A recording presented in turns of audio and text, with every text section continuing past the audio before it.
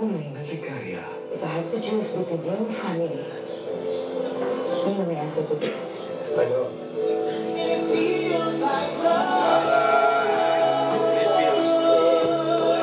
Tokwa is Edsa Woodward. January 14 in cinemas.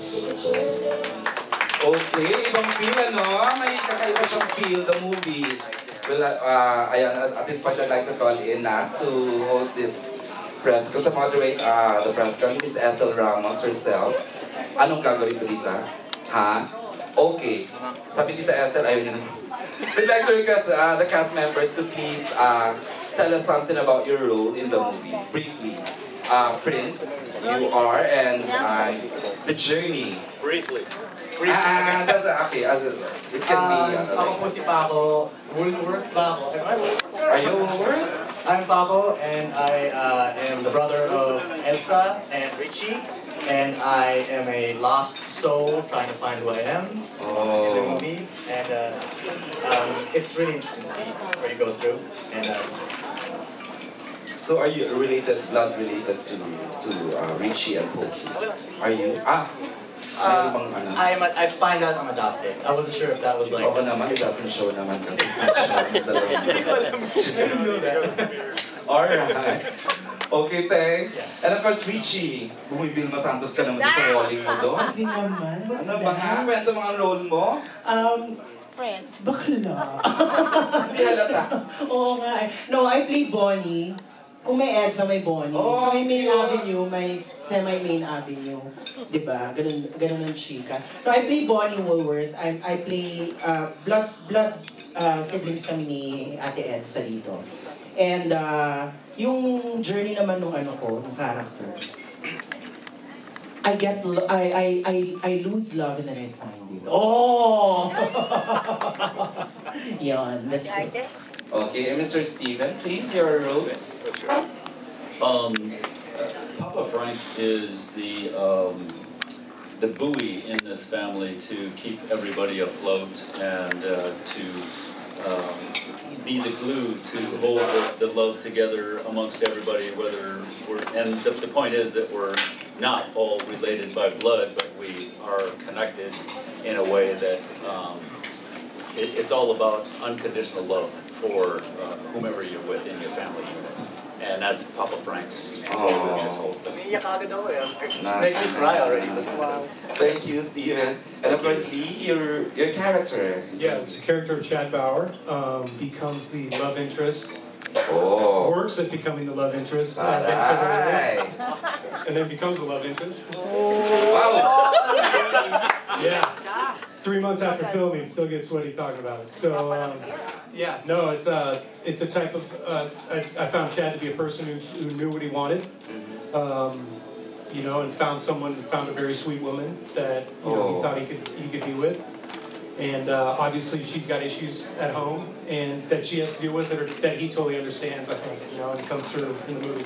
Wow. So, yeah. Thanks. Thanks, Lee. And of course, Pokey, your character and your role. Ano daw? Ikaw daw yung ano, Ako kala po niya. yung panganay na duguduguan habang sinushooting to. Panga, ah, naubusan ako ng uh, kainglisan. Anyway, ako po yung panganay sa magkakapatid. Ito nga si Edsa Woolworth. So, medyo napag-iwan na ng panahon. Sa totoong buhay, ah, maninimbang ako rito kung ah, it's about time na ba na magkaroon na ako ng love life or yung kailangan kasi ako ng, ng pamilya ko. So, ayun, Oh. ito ang struggle sa buhay. Yun. Ayun. So, dahil luma- wala na kaming nanay, so tumayong ako na yung nanay ng pamilya. It's about family pala talaga. ano. Okay, Tita Ethel. Can we get a mic for Tita Ethel? Does she have her? Ay, hindi nawawala. Uh, my first question is for the director. Okay, Director John Lee. Direct, why would you say, why would you would what we consider this a family feature?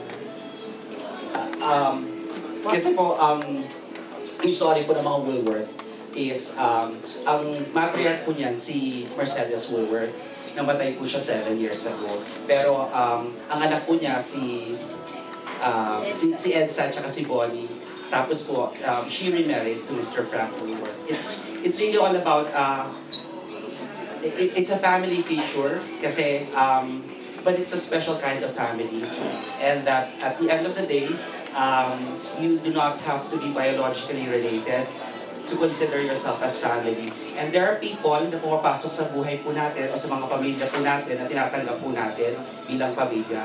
And so to me, it is a family movie, but it's not your traditional family. We make, we, uh, parang nakakreate natin yung kung ano yung pamilya natin, kung sino nandyan, at minamahal tayo at minamahal natin back. That becomes the family. And then, hindi ba, you were also the one who directed Mother's Story. Opo.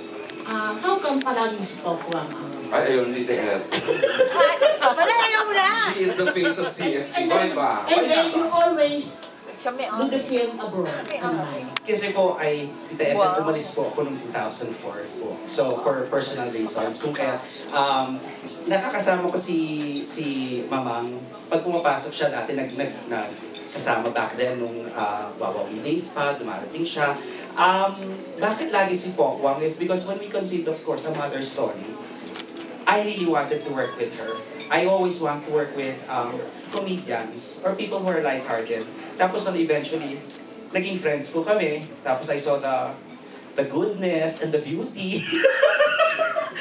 Nun, so it, it worked out. It worked out. Uh, why, why, why Mamang again on the second venture? Of course, I have other concepts and I think of other artists, syempre, desire yun, ano. Um, but th- this concept was really custom made for for um, Pokwang.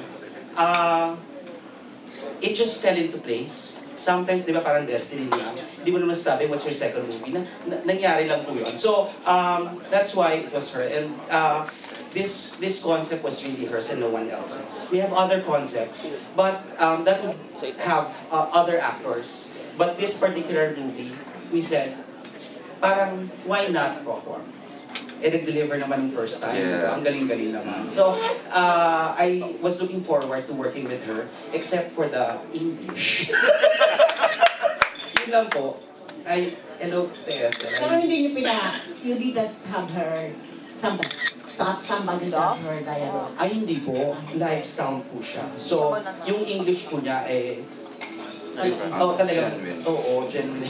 If, if I may share po, si Pokong po sa States, nilalagnat talaga siya pag nag english na yung mga... Serious ako. Pupunta siya sa kwarto ko, yung, tulungan mo naman ako, nilalagnat Oo. ako. Tapos may lagnat talaga siya. Ah, di ba mutik na akong padala ng dugo? Uy, dala din ako ng dugo dito. Gano'n dugo. Ah, ngayon to po ako before I give the microphone to Yes, Malay. the Happy profound New Year. uh, Pablo Tarima.